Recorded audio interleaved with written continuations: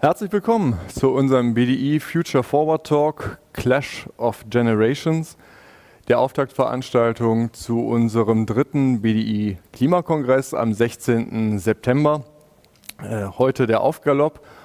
Und ich glaube, das Thema ist ein wirklich in verschiedener Hinsicht sehr spannendes, weil es Brücken schlägt. Clash of Generations.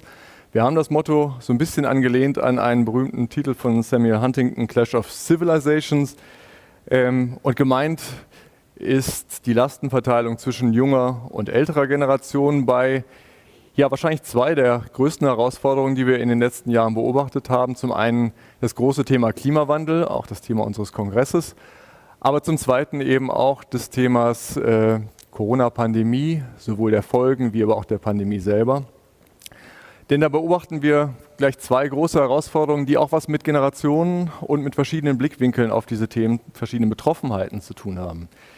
Wir haben im letzten Jahr 2019 ähm, gesehen, wie die äh, Diskussion über den Klimawandel nicht nur an Fahrt gewonnen hat, sondern vielleicht auch an Schärfe äh, zugenommen hat. Äh, wir haben eine ganz neue Qualität der Auseinandersetzung gesehen, auch mit der Jugendbewegung Fridays for Future, ähm, mit einer noch stärkeren Präsenz des Themas in der Öffentlichkeit, aber auch im politischen Raum, mit Reaktionen eben darauf, ähm, dem Vorwurf, dass das Tempo nicht reicht. Äh, jeder von uns hat Greta Thunberg gehört ähm, und ihre relativ ja, prägnanten Zitate, äh, The House is on fire, wie sie gesagt hat, oder I want you to panic.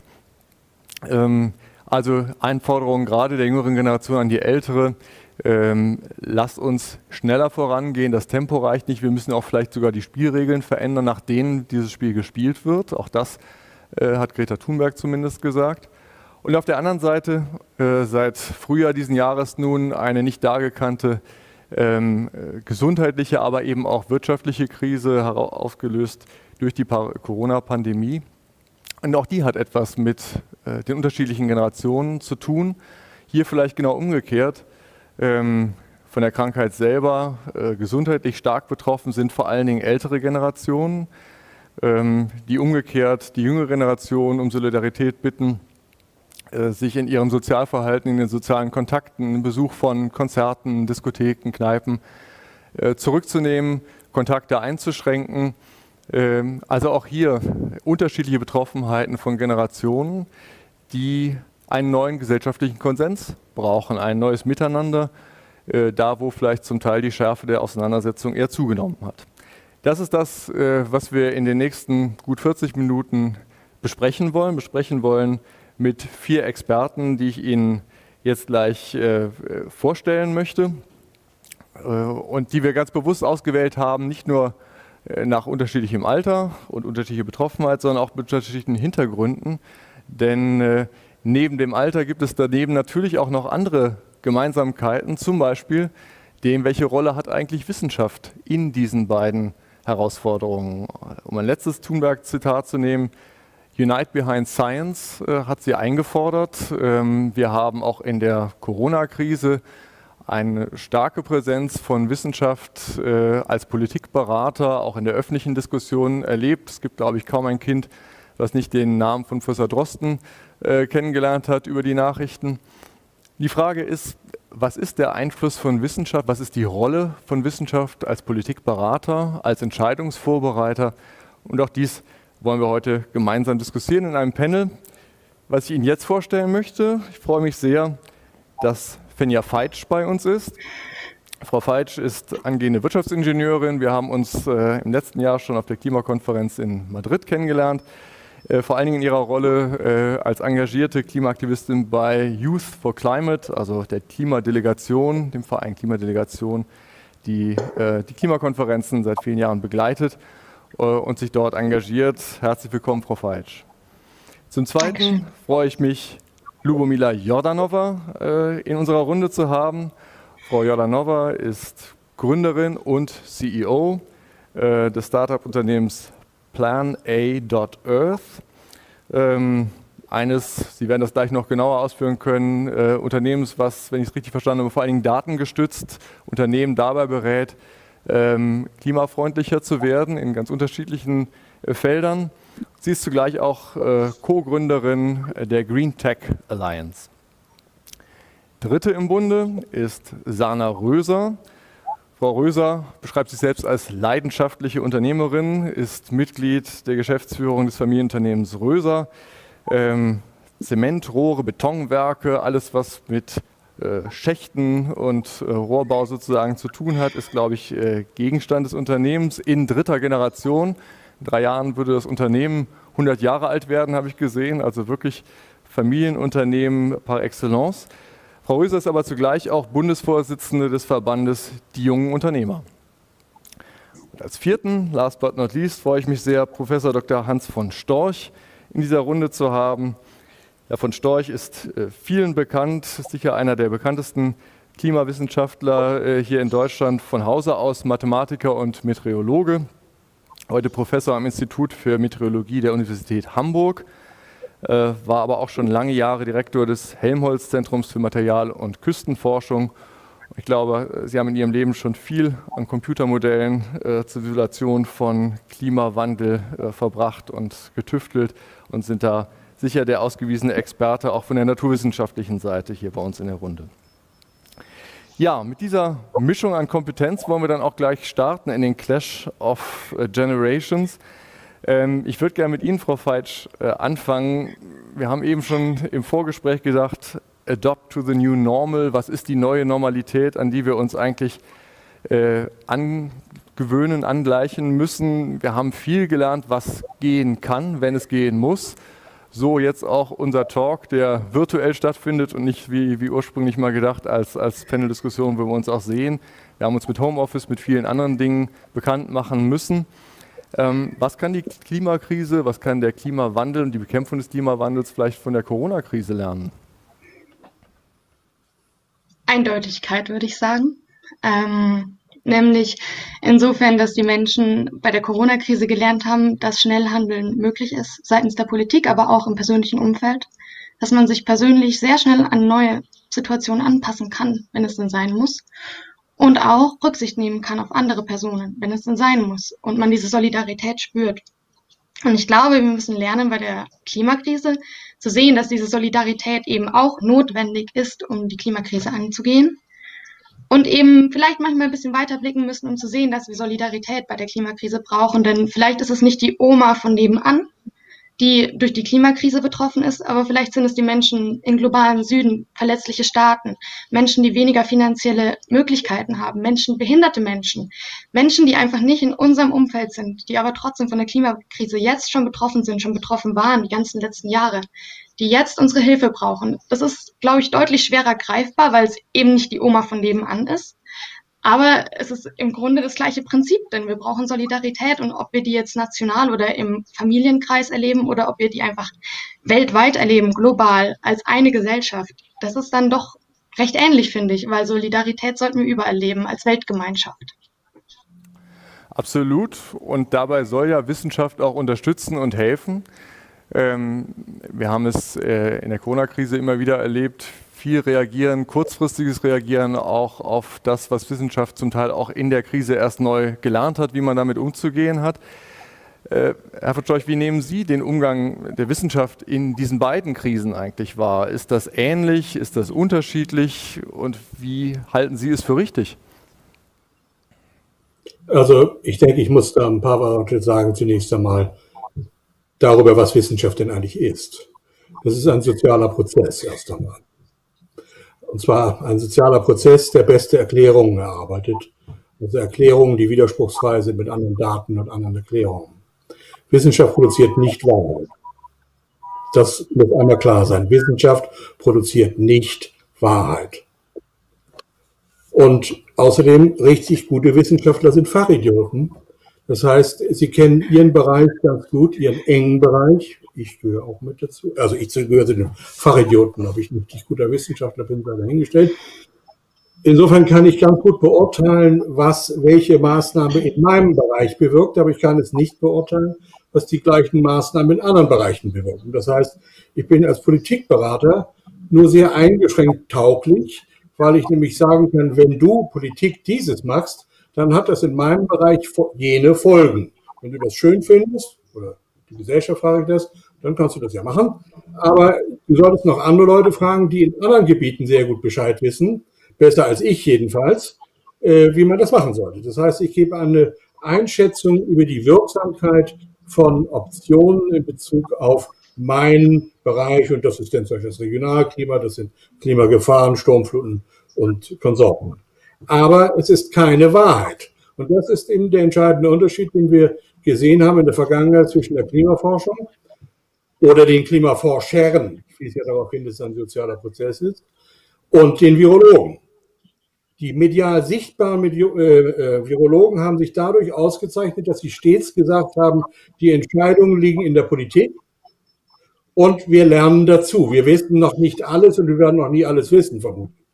Genau diesen Eindruck haben viele Klimaforscher nicht äh, äh, ähm, bewirkt. Wir haben vielmehr bewirkt den Eindruck, dass die Klimaforscher die wissenschaftliche Wahrheit hätten und wüssten, was daraus eindeutig zu folgen habe, follow the science, und dass ein Nachlernen, ein neues zur Kenntnis nehmen von Tatsachen, der die Wichtigkeit des, des Falsifikationsprozesses, der ist von den medial sichtbaren Klimaforschern nicht in einer verantwortungsvollen Art und Weise betrieben worden.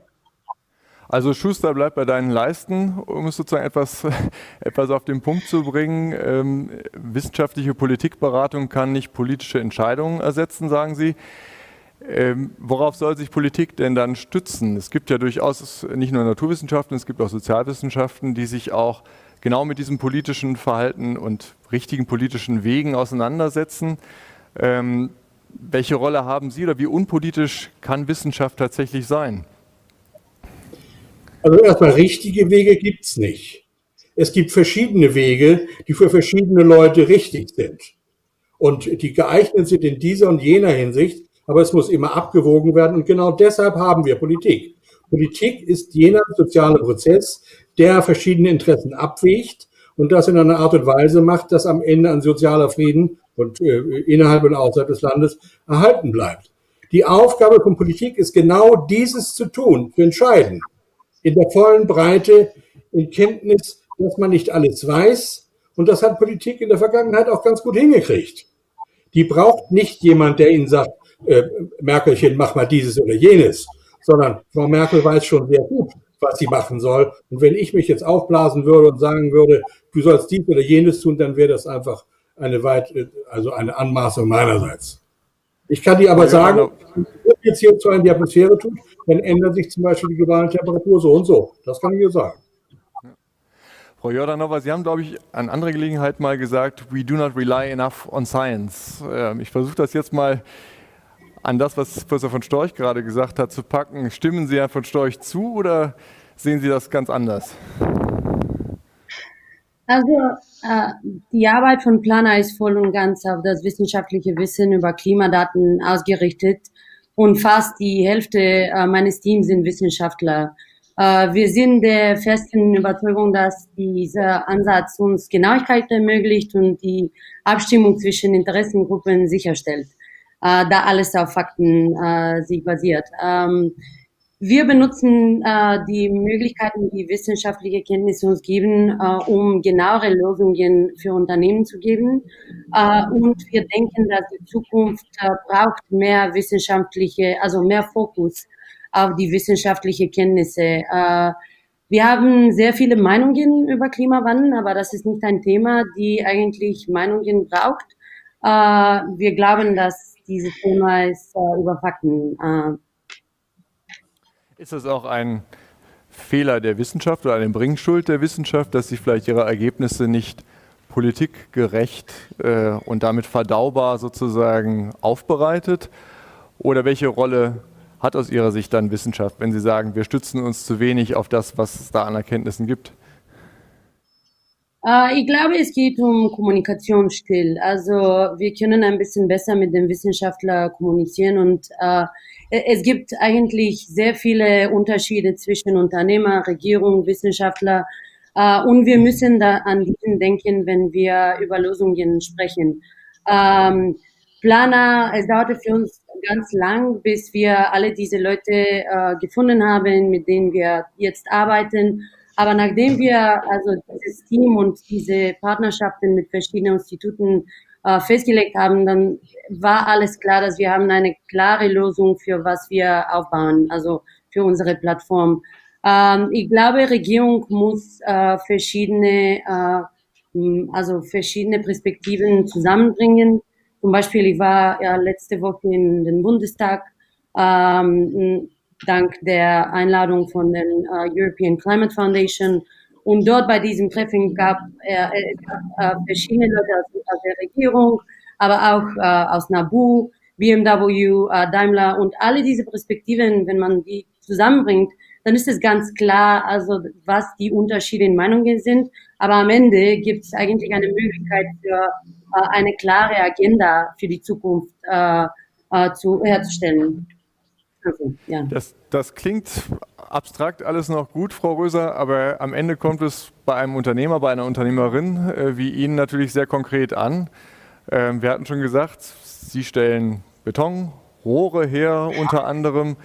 Ähm, was haben Sie für Optionen, wenn Sie jetzt hören, wir müssen schneller werden, äh, wir wollen Klimawandel ernst nehmen, wir sprechen über CO2-Bepreisung, wir sprechen über viele Instrumente, die dann auch schnell, schneller wirken sollen wenn man auf Fridays for Future folgt. Was haben Sie denn für Möglichkeiten, darauf zu reagieren? Was könnten Sie morgen tun?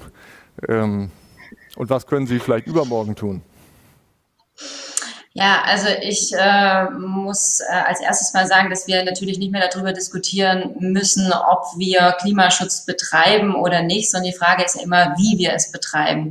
Und ähm, für mich persönlich ist immer wichtig, dass äh, wenn wir bei, bei dem Thema Wissenschaft bleiben, wenn wir bei den Klimafolgen auf die Naturwissenschaftler hören, äh, ist es für mich persönlich wichtig äh, oder auch vielen Unternehmern wichtig, dass man bei der Ausgestaltung dann auch auf die Ökonomen hört. Also was ist der richtige Weg, um die Klimaziele zu erreichen und was sind äh, die richtigen Lösungen. Und ähm, Familienunternehmen sind ja bekannt, dass sie in Generationen denken und handeln und es liegt uns in der DNA und wir als Familienunternehmer beschäftigen uns mit der Reduktion oder der Kompensierung von CO2-Emissionen nicht erst seit es die Initiativen Fridays for Future beispielsweise gibt, ähm, sondern versuchen schon seit Jahren unsere Prozesse zu optimieren optimieren, beispielsweise eigene PV-Anlagen zur Stromgewinnung zu bauen.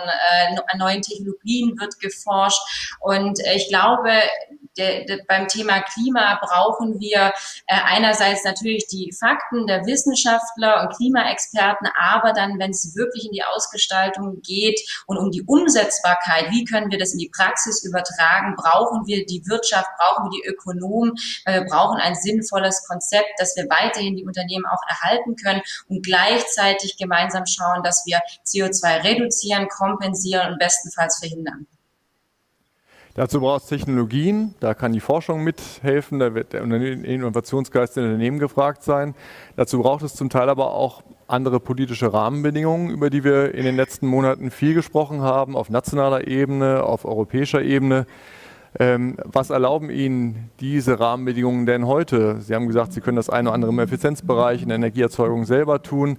Aber bei den Kernprodukten äh, gibt es da auch Möglichkeiten, heute schon viel zu ändern oder sind das langfristigere Prozesse, wenn man Materialien verändert, äh, wenn man Produktionsprozesse umstellen will? Wie kann man den Beton von morgen herstellen? Hm. Natürlich, es sind alles Prozesse, die äh, Zeit in Anspruch nehmen. Also wir können nicht von heute auf morgen äh, unsere Maschinen stoppen und äh, sagen, jetzt forschen wir erstmal und bis dahin stoßen wir kein CO2 mehr aus. Aber wir müssen forschen, wir müssen technologieoffen sein. Äh, für mich ist immer wichtig, dass wir trennen müssen zwischen dem Ziel, was wollen wir erreichen, und den Instrumenten, die wir einsetzen können. Und äh, das Wichtigste ist, dass wir global gemeinsam den Klimawandel bekämpfen müssen. Und wir haben Instrumente, die die sehr effektiv und wirkungsvoll sind und die, die es auch schon seit Jahren gibt, um den CO2-Ausstoß zu deckeln. Und ich finde, auf solche Instrumente sollten wir setzen. Das ist in dem Bereich äh, der Emissionshandel. Ähm, wir müssen einfach nur schauen, dass wir beispielsweise den Emissionshandel, der ja bekannt ist als ein marktwirtschaftliches Instrument, dass wir den beispielsweise auf alle Sektoren ausweiten, auf Verkehr, Gebäude, Landwirtschaft und am besten natürlich äh, global. Denn wenn man sich den Emissionshandel anguckt, dann ist er seit über 15 15 Jahren ähm, ein erfolgreiches Modell und in den Bereichen erreichen wir auch die Klimaschutzziele. Ähm, und, und an solchen Dingen sollten wir uns orientieren, genauso wie zum Beispiel eine weltweite Aufforstung, um CO2 zu kompensieren. Also die Wirtschaft tut seit Jahren schon sehr viel und wir müssen einfach schauen, dass von den politischen Rahmenbedingungen Instrumente eingesetzt werden, dass wir weiterhin im Wettbewerb sind, dass wir weiterhin marktwirtschaftliche Instrumente haben, um die Wirtschaft äh, nicht einzuengen und möglicherweise am Schluss noch äh, Arbeitsplätze zu gefährden. Vielleicht das wäre natürlich der Königsweg. Ja, von euch. Wenn Sie von Klimazielen reden, dann glaube ich, gibt es in Wirklichkeit nur eines, ähm, das aus dem letzten IPCC-Bericht folgt, nämlich, dass wir, wenn wir dem Budgetansatz folgen, die globalen Emissionen, sagen wir mal jetzt nur CO2, auf Null bringen bis ungefähr 2050 und danach ersetzen durch äh, negative Emissionen in der Größenordnung der bisherigen gesamteuropäischen. Also nur um die Größenordnung klar zu machen. Äh, von Deutschland trägt zu diesen, äh, das sind derzeit ungefähr 40 Gigatonnen CO2, also im letzten Jahr gewesen. Deutschland trägt dazu einige Gigatonne bei. Wenn wir mal großzügig sind und sagen, wir haben einiges an Emissionen exportiert, sind es eben zwei. Europa sind vier Gigatonnen und wenn wir dann wiederum sagen, haben wir einen Teil exportiert, sind es acht. Wenn wir die jetzt auf Null bringen, dann sind wir bei um und bei, wenn ich jetzt wieder großzügig bin, bei 30 Gigatonnen CO2. So. Wie viel haben wir denn in den letzten 15 Jahren geschafft? Ein sattes plus 10 Gigatonnen CO2. So in der Größenordnung normal. Das heißt, von einem Erreichen, man kann natürlich jetzt argumentieren, sonst wären es noch viel mehr gewesen, wenn wir nichts gemacht hätten, aber von einem Erreichen der Klimaziele kann überhaupt gar keine Rede sein.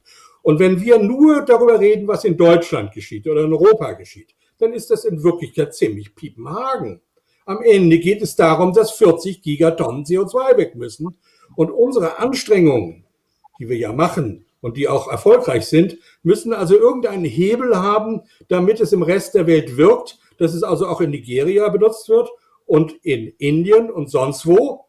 Und das ist die Frage, die wir diskutieren müssen. Wie machen wir aus unseren hoffentlich doch sehr guten Anstrengungen, und das will ich auch wirklich anerkennen, dass das geschieht, wie machen wir aus denen die große Zahl? Und davon redet keiner, sondern es reden da darum, um irgendwelche Pupsbeträge, die in Deutschland in Farben eingespart werden. Darum geht es nicht. Es geht um eine richtig, richtig große Zahl. Und das muss eine irgendwann mal genommen werden. Ich meine, der Hebel, den wir haben, ist unsere technische Intelligenz. Unsere Möglichkeit, dass wir Technologien entwickeln, die erstens wirtschaftlich attraktiv sind, erstens, und zweitens klimaneutral sind, nicht andersrum. Weil das Erste ist es, was nämlich andere Menschen in der Welt dann veranlasst, dieses auch zu übernehmen und die gleiche Technik in Argentinien laufen zu lassen. Ob das, welche Techniken das sein sollen, darüber können wir vielleicht dann nochmal reden. Aber wir müssen so einen Hebel herkriegen. Und darüber müssen wir reden. Abgesehen von den hervorragenden Anstrengungen, die zum Beispiel die Firma Rösner unternimmt. Das will ich natürlich sehr anerkennen, dass sie sich darum bemühen. Aber es reicht natürlich vorne und hinten nicht, wenn da nicht der Hebel herkommt. Diese Lernkurve mitzufinanzieren, hier zu testen und die Technologien hier zu entwickeln, ist sicherlich ein, ein Beitrag, der deutlich größer ist als das, was wir hier im Land an Emissionsreduktion leisten können. Aber die Frage, Frau Jordanova, vielleicht auch an Sie ist, wie, wie, global einsetzbar sind denn die Technologien, die wir hier entwickeln für Industrieländer, für weit entwickelte Industrieländer? Äh, ist auch das, was Sie tun, äh, genauso in Südafrika und anderen Plätzen einsetzbar oder braucht es da vielleicht ganz andere Lösungen? Müssen wir also tatsächlich uns auch noch mal stärker mit den spezifischen Problemen in diesen Ländern auseinandersetzen, in Schwellenländern? Ja, danke sehr für die Frage. Also vor einigen Monaten haben wir äh, die Green Tech Alliance gegründet.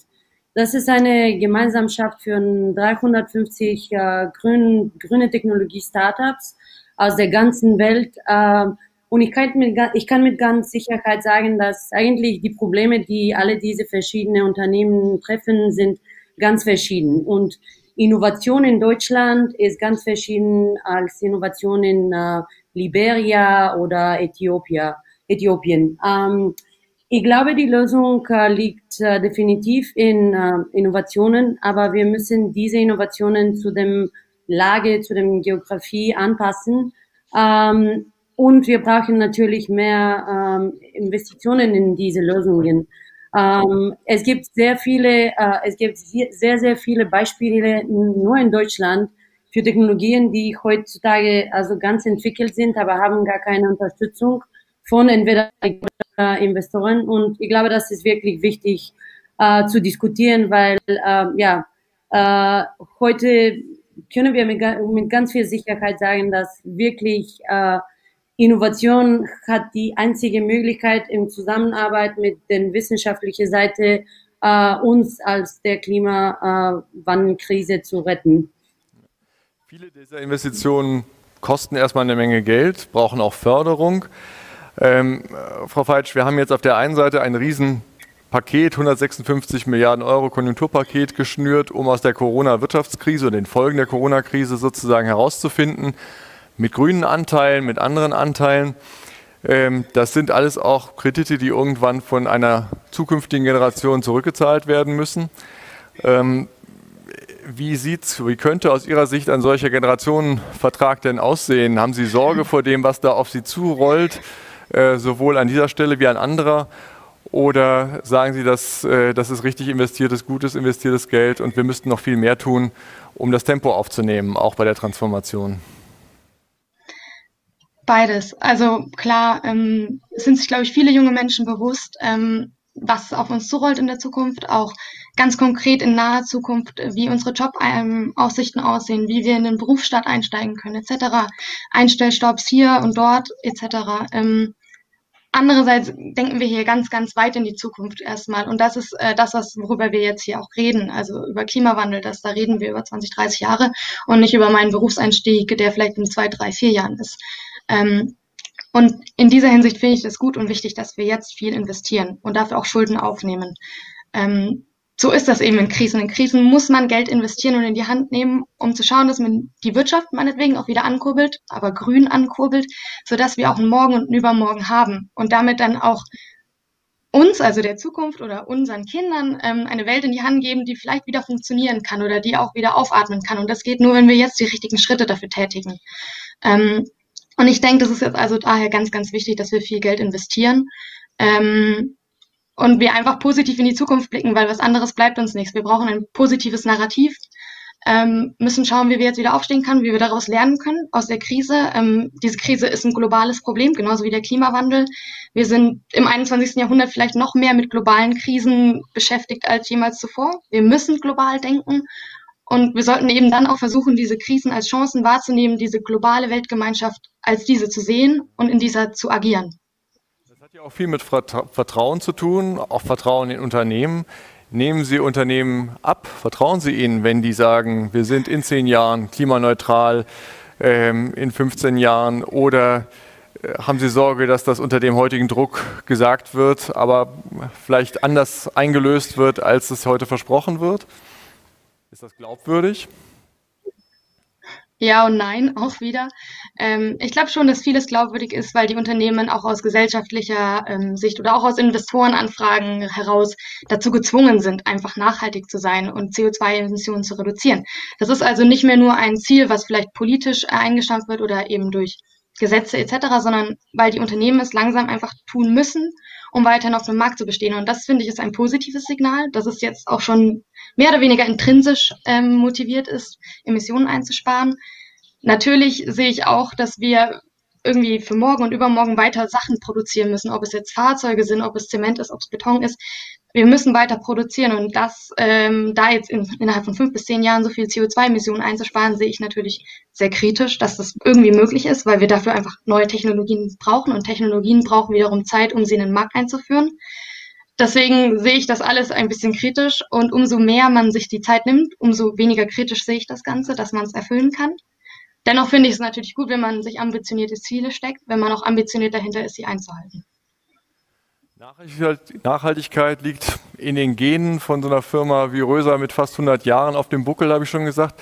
Nachhaltigkeit in allen Dimensionen, wirtschaftlich, ökologisch, sozial. Ähm, wie schauen Sie, wie viel schneller könnten sie denn sein, äh, wenn sie denn wollten? Und was lässt der Wettbewerb auch zu? Sie hatten angesprochen, wir wollen, Sie müssen in einem globalen Wettbewerb bestehen. Sie haben bestimmte Spielräume für Investitionsentscheidungen, für Technologieentscheidungen. Und Sie sind aber andererseits auch in einem gewissen Wettbewerbsdruck. Wie viel mehr könnten Sie denn, wenn Sie wollten? Oder wie eng ist sozusagen Ihr Entscheidungsspielraum? Können Sie das ein bisschen skizzieren, Frau Röser, vielleicht auch an einem Beispiel? Also äh, von Seiten der Familienunternehmen, wir wissen, dass wir ähm, etwas tun müssen und dafür auch nicht so viel Zeit haben. Aber man muss auch wieder, was ich immer finde, wichtig ist anzubringen, man muss sich Klimaschutz auch leisten können. Und äh, die Unternehmen brauchen den Spielraum auch weiter zu wirtschaften, in Technologien zu investieren. Deswegen müssen auch die Rahmenbedingungen hier in unserem Land, ich spreche jetzt für die Familienunternehmen in Deutschland, äh, passen und stimmen, ähm, dass wir auch erstmal jetzt diesen Clash haben wir Verkehr, zwischen Corona-Krise und Klima. Das heißt, äh, wir müssen einerseits schauen, dass wir unsere Unternehmen retten und äh, dass wir die Arbeitsplätze sichern. Äh, das ist eine große Herausforderung jetzt. Deswegen brauchen wir auch da Unterstützung und politische Rahmenbedingungen, die uns ermöglichen, dass wir Wachstumsimpulse bekommen, Beschäftigungsimpulse bekommen, dass wir ähm, praktisch die, die, die Stricke auch aufreißen, die wir, unter denen wir schon gelitten haben vor Corona, sei es die massive Bürokratie beispielsweise, also da müsste man unbedingt ran. Und wenn, wenn diese Ketten aufgebrochen werden, können wir auch ähm, schneller voranschreiten. Aber natürlich, wie wir es jetzt heute schon öfter gehört haben, es ist ein globales Thema. Wir müssen gemeinsam an einem Strick ziehen. Und ähm, was ich natürlich als sehr problematisch ansehe, ist, dass wir jetzt als junge Generation, und da spreche ich ja für mich ähm, auch mit, dass wir in der ganzen Corona-Krise eigentlich der doppelte Verlierer sind, äh, weil wir einerseits natürlich diese ganzen Schulden abbezahlen müssen, diese enorme Corona-Rechnung, die auf uns zukommt. Ähm, und das ist natürlich auch in unseren künftigen Bundeshaushalten die Spielräume leert. Also wir haben nicht mehr wirklich äh, Finanzmittel dann Zeit übrig, um in die Zukunft zu investieren. Stichworte wie Bildung, Digitalisierung, Infrastruktur, Investi äh, Innovation. Also da wird uns natürlich durch die Corona-Krise massiv der Spielraum momentan genommen. Nun sagt Eva Thunberg trotzdem, das Tempo ist nicht hoch genug, das Haus ist on fire und auch die Frage steht im Raum, heiligt der Zweck die Mittel? Kann ich mich in solchen Situationen einer besonderen Krise, Corona-Krise, haben wir das gesehen, was alles sozusagen kurzfristig auch an starken Veränderungen in kurzer Zeit durchgesetzt wurde, ähm, ist das auch adäquat für, als Antwort auf einen Klimawandel ähm, müssen wir sozusagen auch nicht nur Anstrengungen, sondern vielleicht sogar Spielregeln verändern? Oder geht das zu weit? Wo ist die Grenze? Wie viel, wie viel Veränderung sozusagen ist da auch zumutbar und auch für wen? Frau Jordanova. Ähm, wie Frau Feitsch am Anfang der Diskussion gesagt habe, äh, haben wir dank der Corona-Krise bewiesen, dass Verschiebungen und Verhältnisänderungen leicht umzusetzen sind, wenn man die Dringlichkeit spürt. Ähm, ich denke, die Berechnungen der Wirtschaft werden in einigen Jahren keinen Sinn mehr machen, wenn wir uns heute nicht auf die Wissenschaft, äh, also auf die Kenntnisse über den Klimawandel äh, konzentrieren. Äh, wir haben nicht so viele Jahre. Und äh, es ist wichtig zu denken, äh, also zu verstehen, dass Nachhaltigkeit ist eigentlich Belastbarkeit. Äh, äh, jetzt, äh, jetzt haben wir äh, gesprochen, dass also Lieferketten waren nicht stabil äh, wegen Corona natürlich, weil die war gar, äh, gar nicht nachhaltig. Wenn wir nachhaltiges Denken in den Unternehmen verankern, können wir dafür sorgen, dass die herstellten Produkten lange halten und eigentlich wenige Schaden äh, anrichten. Sie hatten auch noch direkt eine Anmerkung.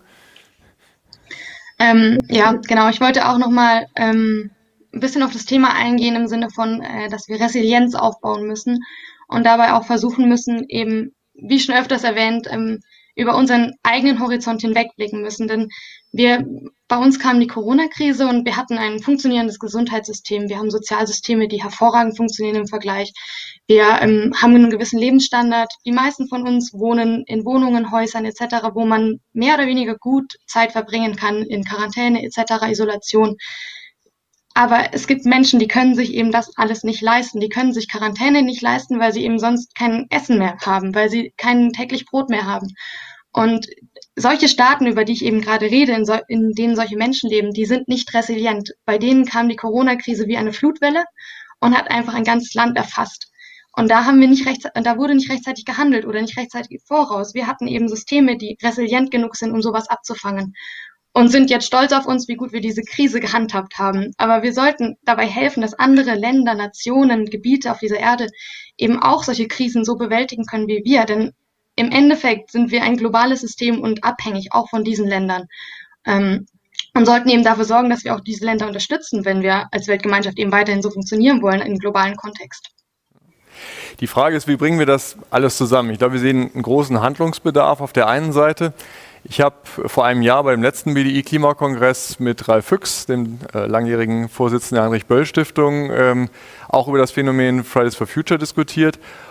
Und er war damals durchaus von Sorge getrieben, dass dieser neue, diese neue Schärfe der Auseinandersetzung, dieses 5 vor 12 Moment, deshalb gefährlich sein kann, weil es auch kippen kann, weil es Enttäuschung hervorrufen kann, wenn das Tempo tatsächlich nicht eingehalten wird, dass im Grunde genommen auch eine ganze positive Aufbruchstimmung eher gebrochen wird und rückwärts fällt bei einer Entwicklung, die ja erkennbar über viele, viele Jahre anhalten muss, die jetzt kein Ding von ein, zwei Jahren ist, sondern die sich in Jahrzehnten abspielen muss, indem wir neue Technologien entwickeln, an den Markt bringen ähm, und viele Rahmenbedingungen verändern müssen, also einen langen Atem brauchen. Ähm, und wir kommen wieder zu unserem Generationenthema. Letztlich langer Atem, junge Generation ist ungeduldig. Wie kriegen wir die Dinge zusammen und äh, wie können wir auch das Verständnis äh, der unterschiedlichen Perspektiven da verbessern, Herr von Storch? Sie sind schon so lange in dem Geschäft, ähm, wenn auch als Wissenschaftler, aber Sie werden ja sicher auch äh, eine eigene Meinung sich gebildet haben zu diesem politischen Diskurs, den wir da beobachten. Das darf ich nochmal Entschuldigung, einen Schritt zurückgehen. Also erstmal, Frau Falsch, ich finde es sehr, sehr äh, konstruktiv, dass Sie immer wieder den Fenster aufmachen zum globalen Süden hin. Und wir müssen natürlich aufpassen, wenn wir sagen, wie wir, die sollen wie wir, dann meinen Sie natürlich nicht, die sollen das machen, was wir gemacht haben, sondern sie sollen genauso resilient sein wie wir. Und das ist, glaube ich, auch ein gutes Ziel, dass wir aufhören, dem globalen Süden zu sagen, was sie denn tun sollen. Also ein Al Gore, der die Ministerpräsidentin von Bangladesch darüber informiert, dass ich kein Kohlekraftwerk bauen darf. Äh, sowas möchte ich eigentlich nicht nochmal erleben. Dass da alte Männer, mein Alter, da sitzen und Frauen sagen, in Bangladesch äh, darfst du nicht tun. Also damit sollten wir zunächst mal aufhören mit dieser elenden Bevormundung des Westens gegenüber dem Süden. Aber wir müssen den Süden eben mit berücksichtigen. Wir müssen auch bedenken, dass die natürlich jeden Tag Hollywood-Filme vorgeführt kriegen, in denen gezeigt wird, wie es sich schön lebt und dass man dann versucht, das zu erreichen, das kann man ja wohl niemand übernehmen. Aber wir müssen eben auch sehen, was wir noch lernen aus der Affäre, also nicht aus der Affäre, aus der Sache mit Klima und Corona. Klima hat mehr und mehr das ganze Thema dominiert und kein Mensch ist auf die Idee gekommen, da könnte noch was anderes kommen. Obwohl natürlich jeder weiß, und ich muss sagen, ich habe auch bisweilen darüber geschrieben, da können noch andere Dinge kommen, zum Beispiel eine Epidemie. Kein Mensch hat darüber nachgedacht und hat speziell darüber nachgedacht, wie denn die Resilienz nicht nur bei uns gegenüber solchen, sagen wir mal, Störungen aufgebaut werden können. Welche Überraschungen sind denn in Zukunft noch möglich? Dadurch, dass wir uns vollständig auf das Klimathema konzentrieren, haben wir doch gar keine, keine Reserven mehr für das nächste Thema, das da kommt und dass da Themen kommen. Darauf können wir uns alle verlassen. Stellen wir uns also vor, wir sind jetzt im Jahr 1920 und sollen über die Zeit reden bis 1950.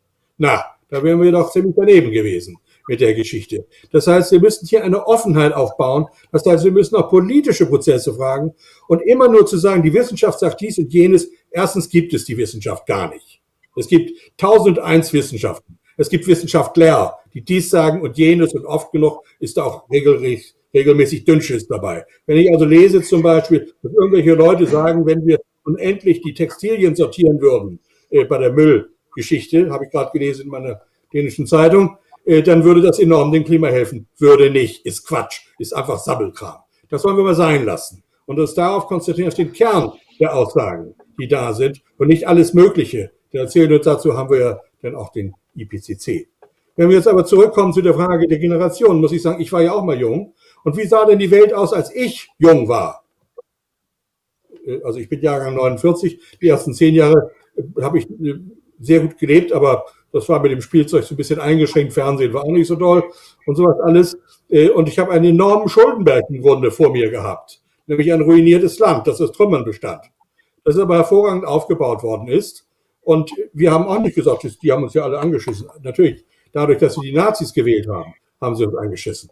Äh, aber zunächst einmal ist das, glaube ich, einfach Teil des Lebens, dass neue Herausforderungen kommen und denen muss sich dann jede Generation neu stellen. Nur muss diese Generation wissen, wenn sie sagt, die Jugend, sie sind nur der privilegierte Teil der Jugend. Jene Jugend, der es wirklich wunderbar gibt, geht. Und zwar warum? Weil ihre Eltern was aufgebaut haben.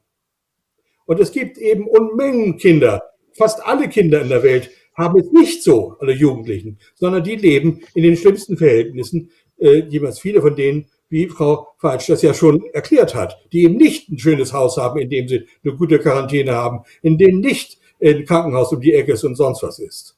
Das heißt, ich sehe hier eine ganze Menge großes Gequake, äh, das vollkommen unangemessen ist von einer Jugend, die im Wesentlichen nur ihre Privilegien erhalten will. Nämlich die Privilegien, dass sie regelmäßig nach Sylt fahren können. Sie haben sofort Möglichkeit darauf zu reagieren, Frau Falsch.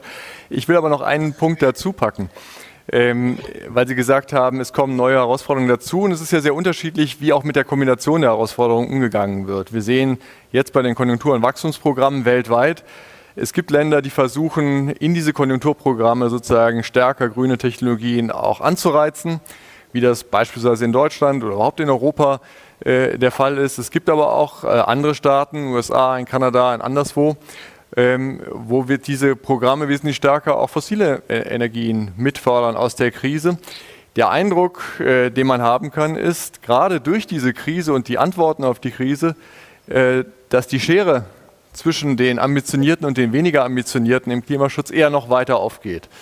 Dass die Europäer sozusagen nochmal am Tempo zulegen in der Beantwortung der Klimakrise und dass viele andere Teile der Welt nicht die Möglichkeit haben oder sich anders entschieden haben, auf diese Krise zu reagieren, dass wir daher gerade das, was wir als Wettbewerbsumfeld eigentlich ja einfordern, ähnliche Bedingungen immer weniger vorfinden.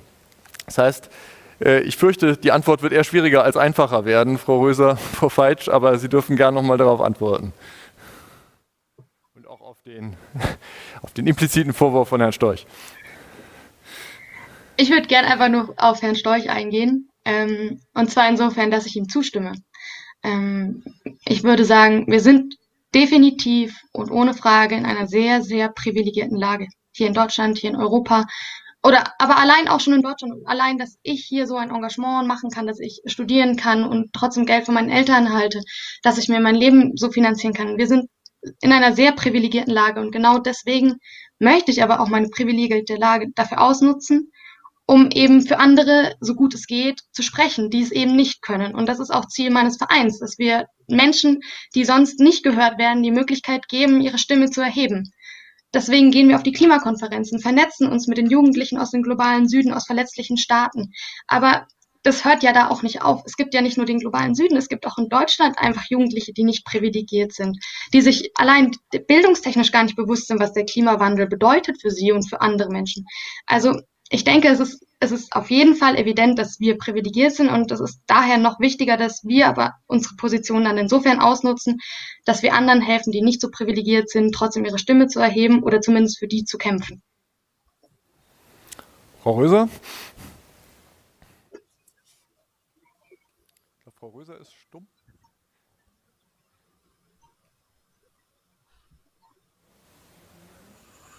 Haben wir irgendwie ein kleines Tonproblem auf den letzten Metern. Dann will ich gern zur Abschlussfrage, weil wir tatsächlich auch schon am Ende unserer Dreiviertelstunde angelangt sind, kommen. Nämlich äh, drei Jahre auf den Weiterspringen auf dem BDI-Klimakongress 2024, äh, zu dem wir uns vielleicht ja wiedersehen, in welcher Rolle auch immer. Und äh, meine Kernfrage bei beiden Krisen, bei Bewältigung beider Krisen, was glauben Sie, wo werden wir stehen? Werden die Unterschiede, wird auch der, die Art und Weise, wie wir Konflikte zwischen Generationen äh, austragen, sei es im Klimabereich, sei es bei der Bewältigung der Corona-Krise, sich geändert haben, verbessert haben? Oder wird der Ton schärfer, wird die Spaltung größer? Ähm, und wenn es besser wird, woran liegt es? Was können wir jetzt tun, damit wir eine andere Form des Diskurses haben und auch Politik die Verantwortung äh, nicht nur übertragen, sondern auch anerkennen, die Entscheidungen, die dort getroffen werden. Das gehört ja dann auch dazu. Ähm, auch Kompromisse anzuerkennen, wie Herr von Storch das eingangs gesagt hat, und nicht in die Wissenschaft delegieren. Wo stehen wir also 2024? Wer möchte den Start machen?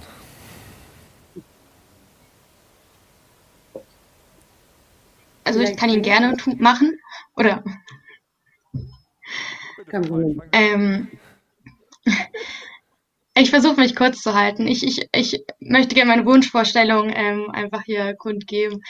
Und zwar, dass ich hoffe, dass wir 2024 anders an solche Krisen herangehen. Denn ich habe das Gefühl, dass wir oft versuchen, mit mh, mm, althergeholten Möglichkeiten oder Lösungswegen versuchen, neue Krisen zu begegnen, weil wir es nicht anders gewöhnt sind.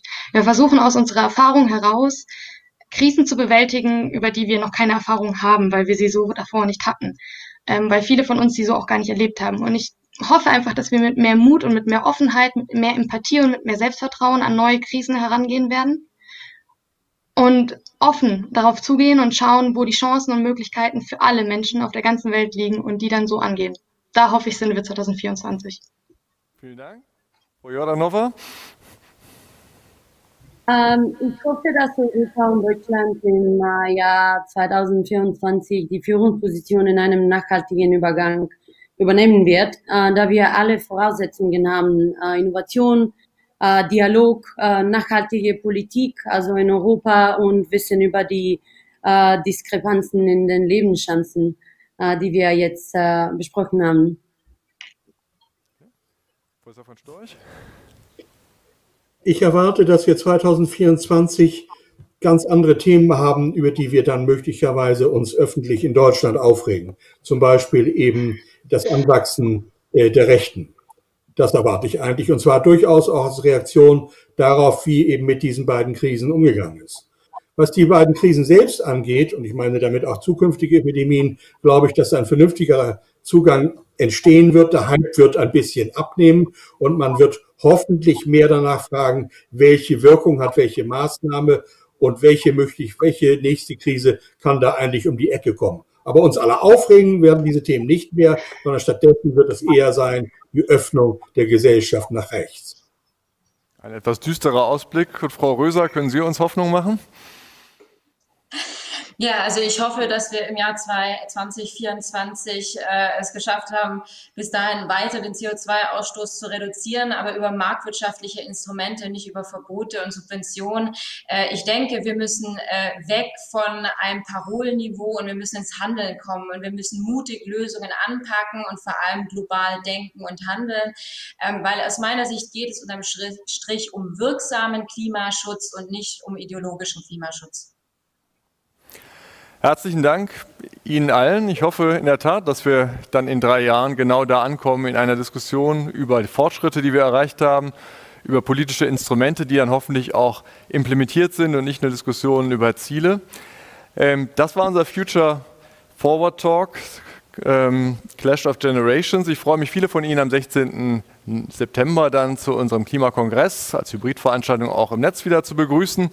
Danke Ihnen vielen ganz herzlich äh, für die engagierte Diskussion, allen, die uns gefolgt sind.